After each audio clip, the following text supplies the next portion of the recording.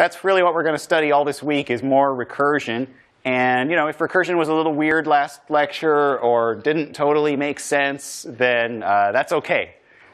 And you know, at some point, a lot of people just it just clicks. Something about it, it. After some amount of time, a certain example, or maybe writing some homework code with it, at some point you go, oh, and this light bulb kind of comes on, and you sort of get it. It just takes a while, and a different moment for different people will trigger that. And I remember having that moment but I don't remember what I felt like just before that moment. You know what I mean? So I wish I could tell you exactly what got it to work for me. But I think the technique we've all settled on as teachers is to just do lots of examples and bombard you with code and examples and pictures and stuff, and just hopefully something will stick, you know? Anyway, I'm just trying to emphasize that this is a tricky concept that we're going to continue to understand more as we go along. It takes a while. So uh, if, with that in mind, we were writing some code last time, and I want to jump back into some of that code. Um, we wrote a function to uh, compute a base to an exponent called power. We wrote that one. And of course, we also learned about throwing values. You could throw a, a, a, exception to the caller of the function to tell them they didn't pass a good value. So we did that. Remember that when we do recursion, we do these base cases that are the easy cases and the recursive cases that are the hard cases. And the obvious thing that differentiates them is the base case does not make a recursive call. The base case doesn't call power but the recursive case does. So that's how you differentiate those two. Um, we also wrote an is palindrome function that would tell us whether a string was the same forwards as backwards. And again, in all these problems, you want to ask yourself the same question. How is this problem similar to itself? How can you describe a solution to this problem in terms of a smaller version of the same problem? And what you guys told me last lecture was great. You said telling whether a string is a palindrome, if we just did a little bit of the work ourselves by checking the end characters, the start and the end character, then maybe we could use recursion to check whether the rest of it was a palindrome. And if the rest is a palindrome and the edges are the same, then the whole string must be a palindrome, right? So that's the relationship that we tried to capture in this code right here that we wrote. So I wanted to point something out. There's a couple things about this code that I want to do here. Um, one is if I run this and I just look at the output on the console, you might see that uh, there's a few small mistakes, like this one says step on no pets returns false, but actually that string is the same forwards as backwards. That's a, just a tiny little thing where we need to go to the start of our code and say s is the to lower case of itself. Okay, so we'll just compare case insensitively. So that's not really a recursion issue. Um, there's another thing I wanted to point out. So right here, let's talk about this code. This is the recursive case. And this is where we've decided to compare the first and the last character. So if the first equals the last, then we chop out the middle of the string. If the first doesn't equal the last, we just exit with a false. Um, I want to talk about this line of code that's highlighted where it says return is palindrome middle. A lot of students, when they're writing recursive code like this, they just put is palindrome middle. And I mean, that's really close to being the right idea, you know, because you're sort of saying, I want to do the recursion, and I want the string to now be the middle part and not the whole string. But do you understand why I need to say return is palindrome middle? Like, what does that do exactly? What does that mean when I say that? And what, what does it do if I don't say return? If I write it this new way, what does that do? What's the difference between those two? Method, in the method name, you're saying that you're going to return a bool and so if you don't return anything, then if it is a palindrome, like it'll crash because it won't have return palindrome. Yeah, she, I, I like the way you said that. You said that in the heading of this function, it says I'm going to return a bool. I'm promising to do that right here. and therefore, I have to fulfill that promise. I have to return some Boolean value. And so a lot of these paths of code do return Boolean values. But this path right here, if you just say is palindrome middle, that's going to go off and do an exploration and come back and return something to me, and then I'm not going to do anything with that. I mean, whatever he returns, I want to return. That's the way I want to think of it. If the middle part, if that call returns a true, then I want to return a true. If the middle part returns false, then I want to return a false. And so, I mean, another way of writing this would be like bool temp equals that, return temp I don't know if splitting that out helps people maybe understand, like, I have to make this subcall. It's going to return some result to me. Whatever that result was, that's my result. Because the end characters for me are the same. So all that matters is the middle. You know, if the if this thing instead of race car was Ragnar, which is some relay that uh, you can run, like if if you uh, went on the Ragnar relay, well, the R's would match and the A's would match, but then at some point the G's and the N's wouldn't match. So that subcall of his palindrome would return a false. And so the other calls need to echo out that same false all the way back out. So one thing that I think is kind of tricky for some students is understanding recursion with returns, how you have to hand the results back and up forward and stuff like that. It's kind of similar to up here when we say power, we don't just say base times power, we say return base times power, right? Same kind of thing here. Okay, so that's a power function. That's its palindrome function. I want to write one more. Um, I want to talk about one called print binary. So this one, I don't have a slide for on the screen right now, but you pass it an int, and it will print the binary equivalent of that int. So you guys know binary ones and zeros, right? I mean, the far right digit is the, the ones, and then the next digit is the twos and the fours and the eights and the 16s and the 32s, right? So the number 43 has a 32 and an 8 and a 2 and a 1, I think, right? So hmm. how do you do that recursively, though, with no loops? Well, when we're writing recursive code, what's usually the structure of that code? What do we usually start thinking about in the bodies of these recursive functions? We usually split into two cases, right? This base case, I heard people saying base case and then a recursive case. So if something, base case, and else, recursive case, right? Okay, and then the base case are the ones that are easy. So like printing things in binary sounds kind of hard, but I bet there are some numbers that are probably easy to print without doing a bunch of recursion or loops or anything like that. What's a number that would be really easy to print or a range of numbers? Somebody, like, number or numbers, what do you think? Zero? If n is zero? Okay, is that the only easy number? Are there any other easy numbers? one. Okay, right. So if, how about if n is less than two? If n is zero or n is one, then I can just print it, right? cout n. That's pretty simple because those numbers have the same binary representation, representation as decimal. Okay. Hmm, but bigger, bigger numbers, that's tricky. So how do I do that? Well, it's all about recursion doing most of the work for me with magic, and me doing a little bit of the work, right? So what do you think is the unit of work here, the chunk of work that a particular call might handle? How much work does each call do potentially before passing on to another call? One digit, and to be really specific, maybe one binary digit. That's great. Okay. So how about if it's a recursive case, I will print one digit, and the next call will do the rest, I hope. Which digit should I print? I think a lot of people sort of think of it as let's sweep across the digits and print each one of them. Uh, although sometimes you want to think about what's easier or harder to do in C++ or Java. Like plucking a digit off of a number, it's easier to do the last one than the first one. You understand? Because you can use div and mod to chop the last digit off of a number. Getting the top digit is like way up there. You'd have to do some exponent or something, or divide by some big thing. It's easier to grab the last digit.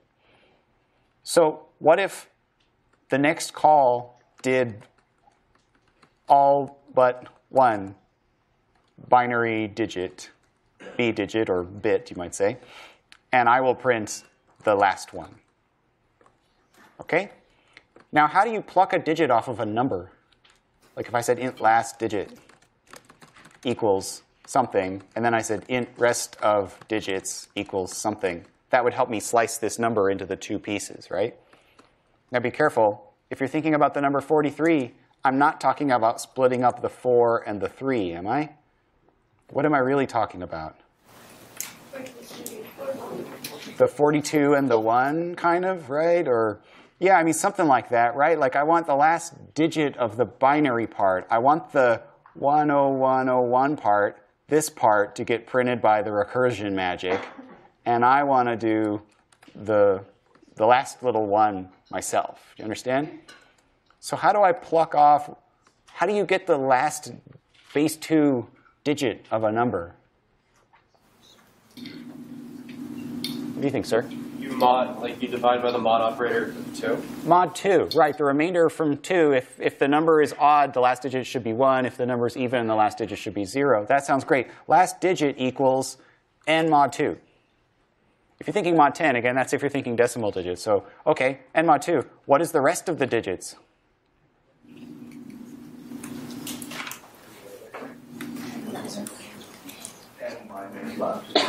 n minus last digit?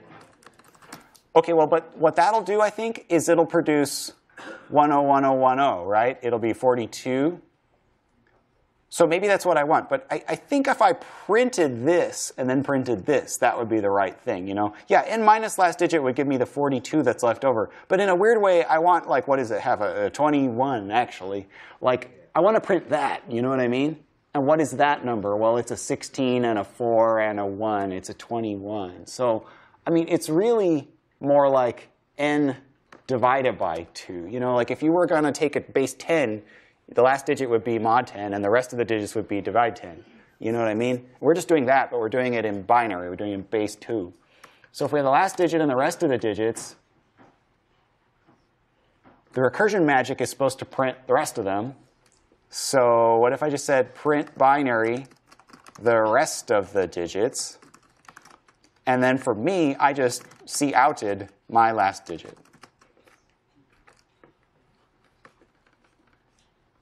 What do you think? Let's, let's try it. Let's compile it and run it. Uh, wait, I don't know if my test cases are enabled up here. Let me go check up in main. Print binary. Yeah, uh, I think I'm supposed, each one's supposed to have a line break between. So let me do that. OK, let's run it. What do we get? Uh, oh, I've got some kind of even digits thing. Hang on, there's some other method here that, uh, that we didn't write. So let me try again. Compile and run. OK, what do we got? Print binary of 2 equals 10. Print binary of 12. It looks like I'm getting the right stuff. I do have one uh, that didn't come out right. Print binary of negative 500. It printed negative 500. hmm. Uh, that's not right.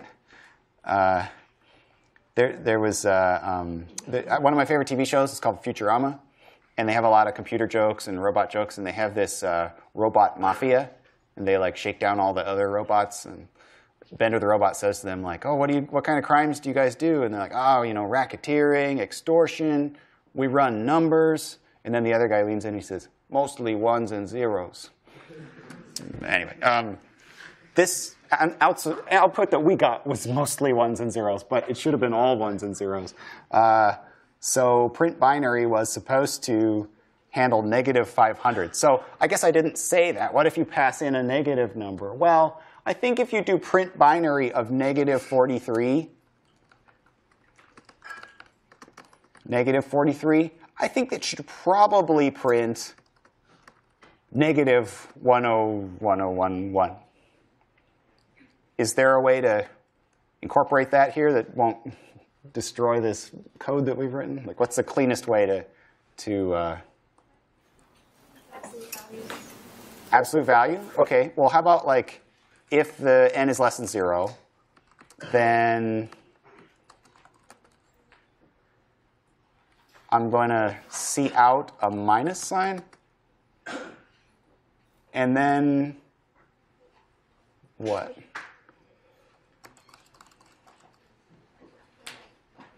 What if I just called myself with negative n, or absolute value of n? Right? You ever hear this one? Uh,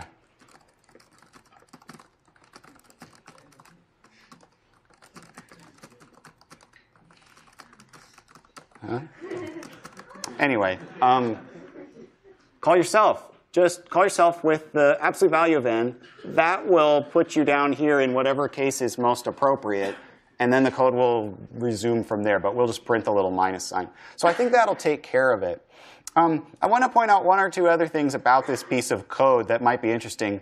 Uh, down here, where we say cout last digit, I want to point out that you could also have written print binary last digit. And it doesn't really make a difference because print binary of last digit would be a digit that was less than 2, so it would jump back up and do this part. But I do think it's kind of interesting to think of it as like, I mean, here, here's the way I would describe it. The binary of 43 is the same as uh, the binary of 21, which is 43 divided by 2, and then followed by, not literally plus, but followed by the binary of uh, 1, which is 43 mod 2. That's like how I think of it. So there's the self-similarity in a nutshell. Printing the binary of 43 can be expressed as printing the binary of 21 and then printing the binary of 1. Like that's the self-similarity. That's where the problem recurs within itself, you know? Song lyrics aside. Uh, questions so far? Any questions about, about this one?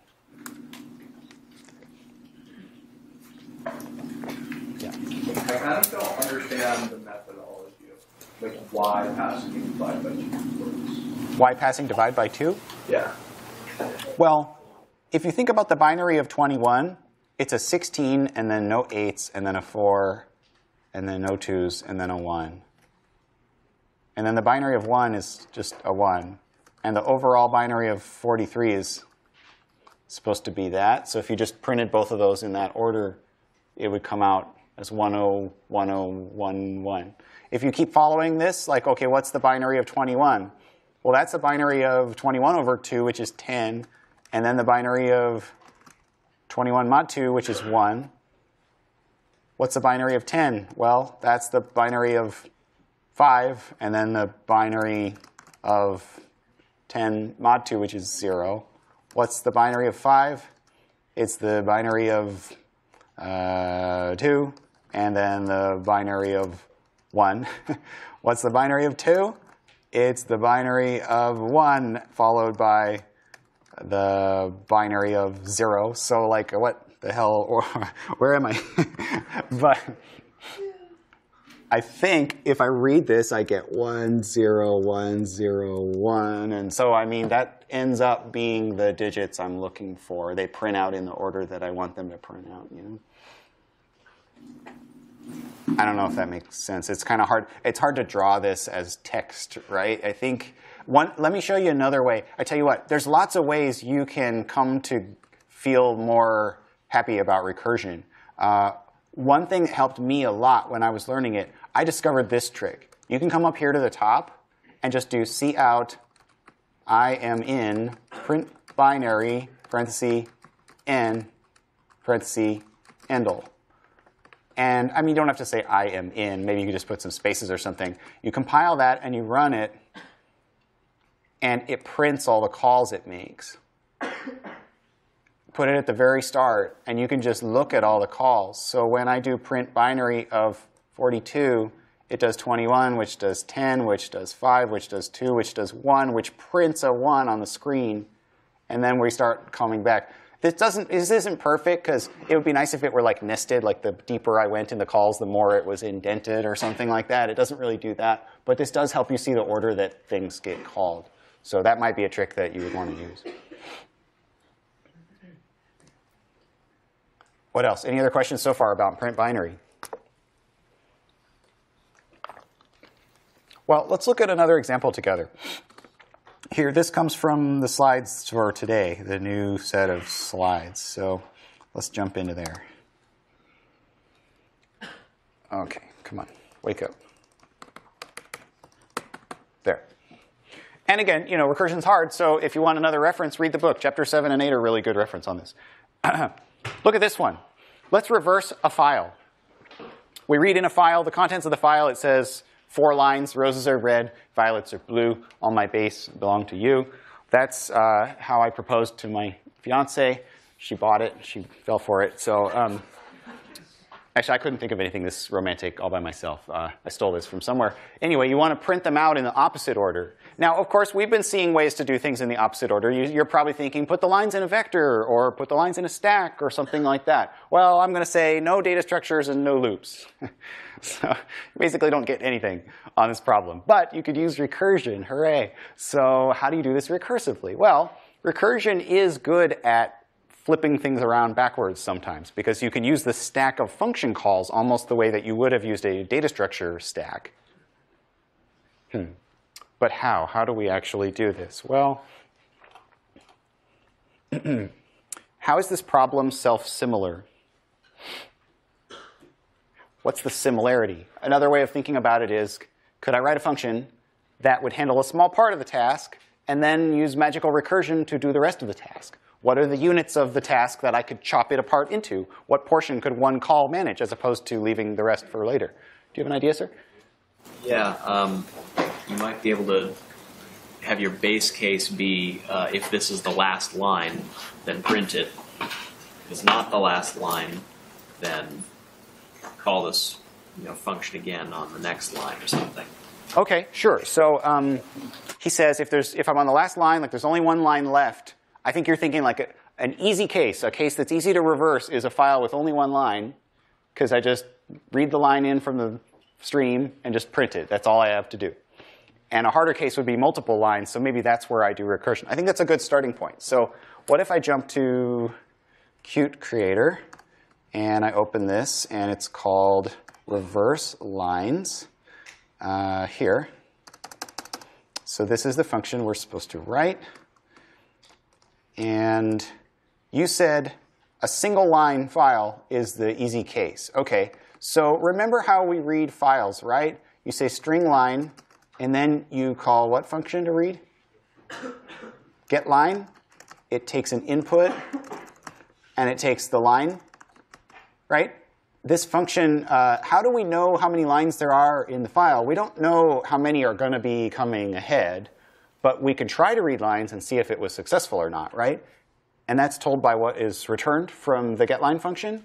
So if the getLine returns true, that means there was a line, right? And else, there were no lines to read. So, hmm. So I guess, I mean, I, I like what you said. Like, maybe we will read one line for our call, and if there aren't any more lines, like that's the right track, I think. But there's no way to look ahead. You know, you have to just do it. You have to just try to read it, and maybe it'll succeed, and maybe it won't succeed, right? So I just read a line, if there was one. But now that I've got it, I don't know what to do with it or how to know, you know, somewhere I need to call. If there's no lines, you know what I mean? I'm, close, but I'm, I'm having a little trouble putting all the pieces together here. And I do think it's the right intuition of like a small file, a single line, that's easy, and lots of lines, big file, that's hard. That's probably where I'm going to use the recursion, right? OK, let me ask you this. I've got a, I've got a thought experiment for you. This is another way some people kind of think about recursion. What if there was a function that I have already written for you? I'm really, really nice like this, right? And it's called Reverse lines cheat, lol. and it is a full implementation of reverse lines. I already wrote it before class. I've learned this before, so I think I got it right. And I will let you guys call it if you want to. You can use it. So we don't even need to do this problem. We can just call this thing. But there's just one condition. You are not allowed to call this function on the whole file. You have to do some work yourself. Get off your lazy butts. If you do a little bit of the work yourself, then I will allow you to call this function that I wrote for you guys that is a full working solution to the problem. Okay? So I think along the track of what you said, the unit of work that maybe we will choose to do as a class is this one line that we read. So if we read one line ourselves, we've got that line stored in this variable. We got it. That's not going to be the last line. You said if it's the last line, do this, but we just read the first one. So again, like if you're, if you're playing my game with this cheating function, Just forget recursion. We're not even using any recursion. We're not even going to do that. We just have to do some of the work ourselves. We just read the first line. What's the first line? It's roses are red, right? That's what we have. We stored that as our string. So now we're eventually going to want to print that line, right? But it prints at the end. It's the last thing that gets printed. So there's going to be some stuff to do here, and then we're going to print our line that we read, right? Before we print our line, what should we do? What, do you have a suggestion? Yeah. Can you store that line in like a temporary string and then call reverse lines um, on get line input line? Ah, well, this variable is like sort of a temporary variable that just our call has. So like if we make other calls, we will still hold on to this line as being our line. So if you want a temporary variable, I think line kind of is that, I think. Can we just call reverse lines on the next line? Right, so here, Marty has that great cheating function that he gave you that will reverse all the rest of the file. Now, of course, the way you think of it is if I already read roses are red, then the file stream is sitting here in front of the letter V. It's ready to read more. So if you gave that to Marty's cheating function, it would read in these three lines, and it would print them out backwards. It would print R belong to you, all my base, violets are blue. So it would do all of that work. That would be great. And then, ha ha ha, we would just print the last line, and that would be so easy, right? So we could just call reverse lines cheat lol and pass it the stream, and it would reverse the rest. And then we would print the first line last, right? Isn't it great that Marty wrote that for us? That's so nice of him. Oh, by the way, what goes in the else? I try to read a line and nothing's there. I guess that means it was an empty file, right? Because we started trying to read the first part and nothing came out. So if you're reading an empty file and you're supposed to print it out, there's really nothing to print. There's nothing to do, right? So I think it's kind of an empty else. Else do nothing. So really, you could just delete this. I'll leave it here for now, but it could be just empty. It could just not have an else, I think. Sure isn't recursive, though, I guess. Uh, OK, well, let's run it. Oh, uh, it's, it's running the other one. So this one's called main2. Uh, I got to turn the other one off, the other file that we were writing last time. That's called main up here. Main, I'll call you main goodbye. There, now you're not going to get run. Okay, uh, run. So, reverse lines, poem.text. It prints roses are red, violets are blue, all my base, R belong to you. So it did print the lines in backwards order. That was great. But you might say, that doesn't really count though, because I used this cheating function that Marty wrote, so I didn't do recursion at all. do you want to see what this looks like? Wait, where is it?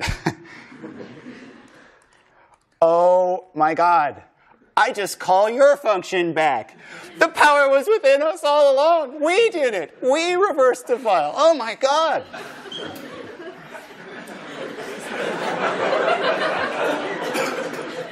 I don't think any of you saw that coming, did you?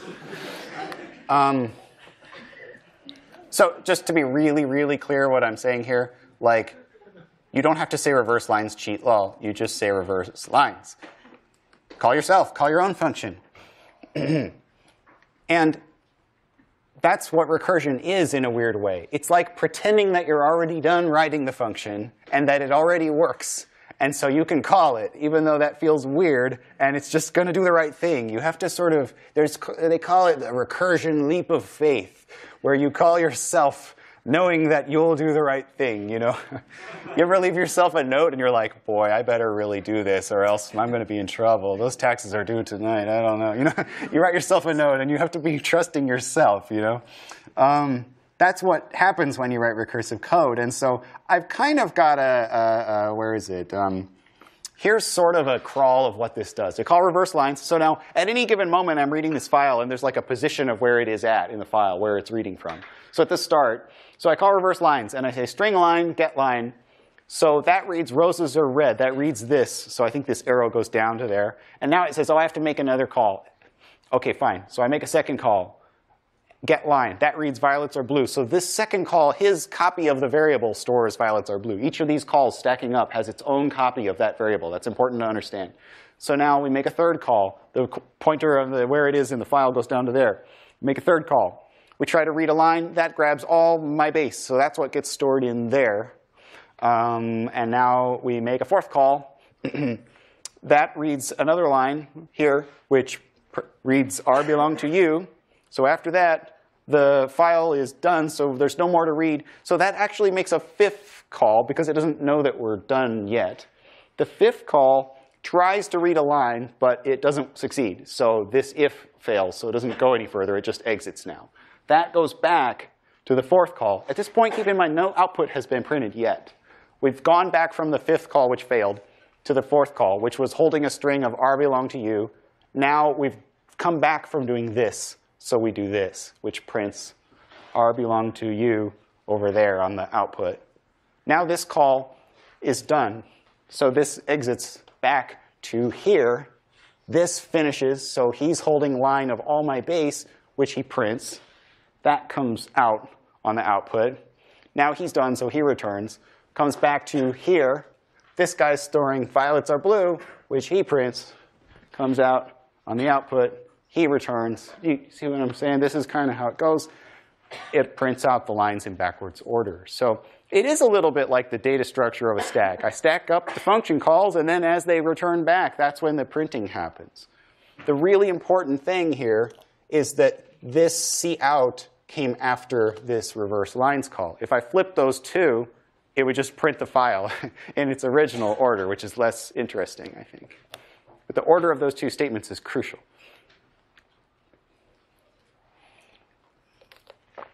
So questions? Yeah. Would it work if we didn't have the passing by reference? Oh, great question. Does it have to be, so this is passed by reference, I, uh, ifstream ampersand. That ampersand is real important because it means they're all sharing the same read through the file.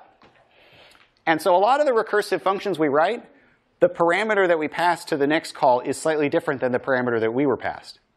So usually we pass n minus 1, or we chop a letter off the string, or something like that, right? This one, you still pass the same parameter of input, but what you've done is modified the internal state of input so that it's further toward the solution to the overall problem. So that if you didn't pass by reference, it wouldn't work because actually you have to pass ifstreams by reference or else you get syntax errors because it doesn't know, it, it would want to make copies of them and it doesn't know how to do that. So basically that would mess it up if we didn't pass by reference. It wouldn't work the, the way that we want. But some file outside, so like, yeah, input dot open some text, and then we passed it without reference. It wouldn't know, like it wouldn't. Work. Well, but the way the way streams are passed is um, you don't have to say anything special. You just say ifstream open and then reverse lines. So the syntax for them to pass it by reference is the same as the other syntax. So, I mean, but yeah, it's, it is important that we're passing that by reference. This is necessary for it to work properly. What else? Any other questions about this one?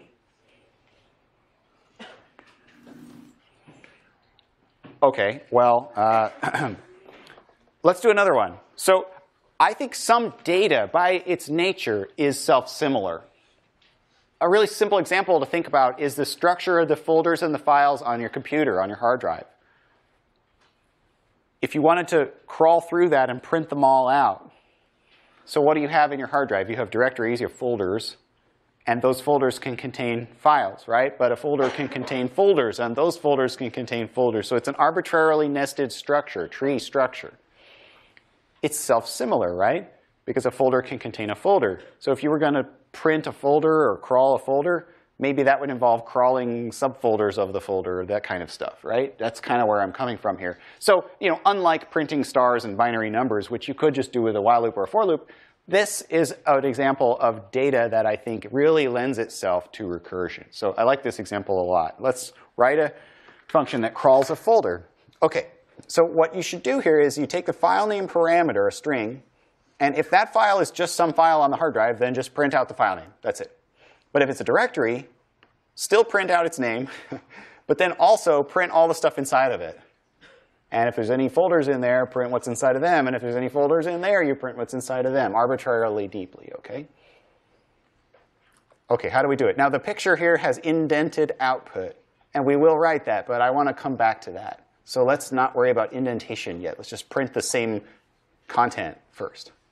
Uh, so if I go back to this program, I want to write a function called crawl. It says string file name, string indent. Let's ignore string indent for now. Let's just do that later. Okay, so remember what the, the description says. If it's just a normal file, print it. If it's a directory, print what's inside of it. Now, you might say, I don't know how to do things with files that are like that. Well, maybe it would help me help if I showed you this, right? These are some functions in our library that you can use that relate to files. So which of these functions do you think I should use? Like, what, what do I do to get started here? If it is a file, yeah, is file or is directory or whatever, right? So, okay, if it is a file, okay, then what? I'm just supposed to print its name, right? cout file name, handle? Okay, yeah, that was easy. And I don't see any recursion there. That's probably a base case, right? Okay, uh, else, it's probably a directory, recursive case. Now, if it's a directory, I said I want to print all the stuff inside the directory. And the way I could accomplish that is there's something called list directory, which takes the directory name and a vector by reference, and it'll fill the vector with all the files that are in that directory. So you say something like vector of strings uh, files, and then you say list directory, that file name, into this files vector. So by reference, it will fill this with the file contents. Maybe you wonder, why doesn't this return the vector? Well, it has something to do with efficiency reasons. But anyway, that's, what, that's how it works. So at the end of this call, this vector will contain all those files. So I could do a for each loop. For each string, this is like a sub file inside of the directory. Um, for each of those subfiles, I could cout the subfile. Okay? So let's try that for a second. I don't know what directory it's going to run on. I don't remember the, the testing method here. What uh, test crawl? Where's that?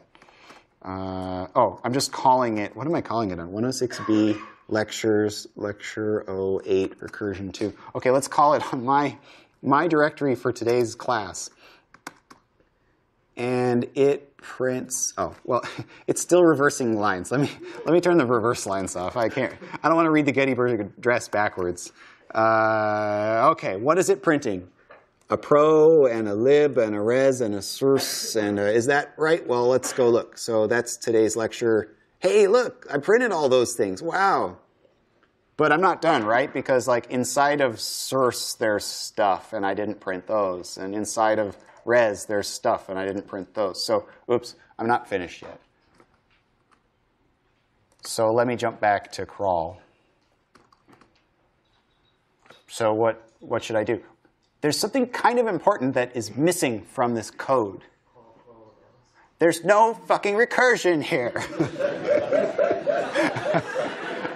if I say we're going to write a recursive function, it should call itself sometime, right? And no one's doing that yet. It's okay, we'll fix it. But I mean, I'm not, I'm not upset. I'm just pointing out, like, if it's recursive, it should call itself. Uh, it doesn't need to call itself in the base case, but maybe here in the recursive case. Any ideas? Any thoughts? What do you think? Instead of just printing each subfile, why don't we crawl the subfile? Yeah. Because if the subfile is just a file, which I think is kind of what we were assuming. It'll just print it, which is what our code did before. But if it's a directory, we'll start another loop for it and another loop for any of its kids and so on. So let's try that. Oh, list directory can't open this dot pro. I need indent? Oh, wait, what? Crawl. Oh, I need to pass indent, pass the same indent. Okay, whatever my indent was, I need to pass it. Wait, so why, what, why did it even compile without that? Wait, uh, called by list directory, called by crawl. Line 87, called by line 88. Uh, let me think. Why is that happening? Oh, oh, I know why. Um, so this has to do with absolute folders versus relative folders. I always, I've given this lecture before, and I always make the same bug which is like the name of the thing isn't just whatever dot pro. It's like slash home slash stepp. I have to put all that stuff on there, or else it won't understand. So like, if the thing I'm looking at right now is a directory, then I want to list all the stuff in here. But like, really, I think I want to say it's like file name plus slash plus. Do you understand? Like, because if I'm in the slash foo folder, then I want to crawl slash foo slash subdirectory. That's, I think that's kind of what's the issue here. I, I know this might be a little confusing, but um, let me let me try that. Okay, a bunch of things are now appearing, and that's a good sign. So it's printing all, these are all like library files in my, my project for today, and it is printing all of the stuff. Hooray. So you might say, well, but in the slide, it, it didn't print these long paths. You know, I didn't really want to see all that. I just want to see the file names. You can do that. And the way you do that is instead of printing the file name, there's a method you can call here uh, named, what is it? There are two functions, uh, no jokes. Their names are getHead and getTail. and that will return just the directory or just the file name of one of these long strings. So like I think I can say get the tail part of the file name, and that will print the when it actually prints it out, it won't print the directory on it. So that prints all these files with no directories. So now we're getting close. We just need the indentation part. So uh, did you have a comment? Yeah. We also Need to print the directory. Okay, that's a good point. If it's a directory, we still need to print its name like that. Okay, that's fine too. Now, this leads into, if I'm going to print this in both cases, then maybe I should just move this up here. So, and then the base case becomes what? I don't need to do anything? But, okay, what about indentation? The idea is that when you initially call crawl, you're going to pass in an empty string of indentation. But as you go deeper, you want to increase the indentation, and that will be like some number of spaces that you put at the start of the lines, something like that. So like, where's it calling crawl? Like up here in main, I would call crawl, and I'd pass in this directory here, and I would pass in nothing for the indentation, like empty string. But then when it made a subcall, maybe it would space it a little bit, and then the next call would space it, and I would use that as a prefix on all the lines that I print out. So where do I need to incorporate that into this code?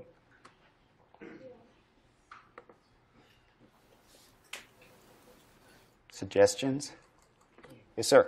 Pass indent by reference and then increment it every time you go down. Okay, I, I like I don't like passing it by reference. I don't think because what I think will happen there is I'll have to they'll all share it, you know, and then if I increase it, I'll have to be really careful to decrease it when I come back. I actually think the easier thing to do is just to pass them a new indentation that's separate from mine. I think you could totally make it work with reference, but I don't think we need that here. I mean, where would I incorporate it into the code? Like you, you said here, if I'm going to make a subcrawl on a subdirectory or something, then instead of passing him the same indentation as me, maybe I'd pass him mine plus a couple of spaces or something, you know?